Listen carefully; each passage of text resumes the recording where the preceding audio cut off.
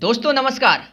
बिहार में जैसे जैसे चुनाव नज़दीक आते जा रहा है वैसे वैसे सरकार की तरफ़ से प्रमुख ऐलान नई नई सौगातें और, और करोड़ों का पैकेज दिया जा रहा है। और खैर और एक कड़वी सच आपको ये भी बता दे कि चुनाव से पहले नेता आपकी चरणों में और चुनाव के बाद आप नेता की चरणों में। ये फैक्ट है ये सच है और एक बहुत बड़ा कड़वी सच है। अब आते हैं मुद्दे पर। मुद्दा ये कि अब की बार की जो चुनाव होने वाला है, वो तो आप देख ही रहे हैं। टक्कर बहुत बड़ा टक्कर इस बार देखने को मिलेगा आगामी विधानसभा चुनाव में।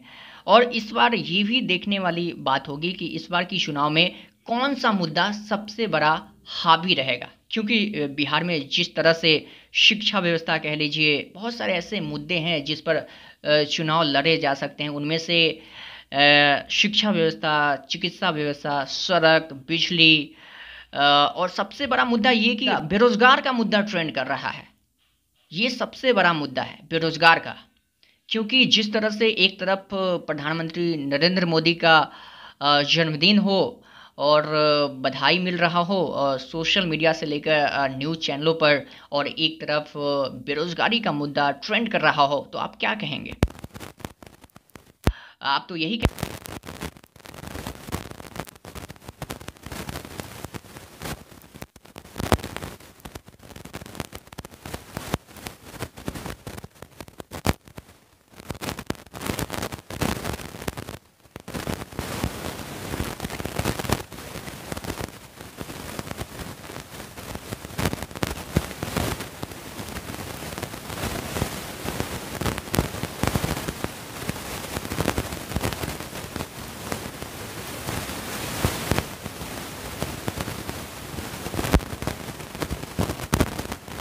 वेबसाइट का क्या नाम है पता है? डब्ल्यू डॉट बेरोजगारी हटाओ डॉट कॉम जी, ये उन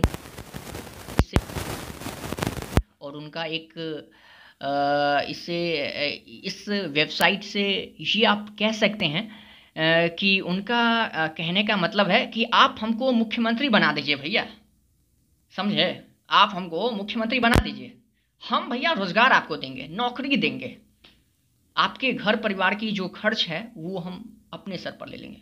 ये उनका उनका कहना है कि हम, हमको आप मुख्यमंत्री बना दीजिए। हम आपको जो आपका जो टेंशन है, वो टेंशनमा जो है ना, वो दूर कर देंगे। वो उनका कहना है।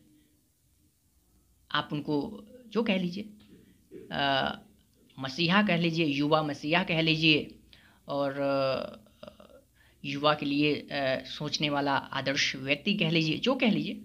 क्योंकि यही तो हमारा देश की खूबसूरती है कि सभी लोगों को अपना अपना पक्ष रखने का अपना अपना पक्ष कहने का पूर्ण रूपेण स्वतंत्रता है। और वो कुछ भी कह सकते हैं। तीन दफ़ा से मुख्यमंत्री जो है वो बिहार के नीतीश कुमार हैं।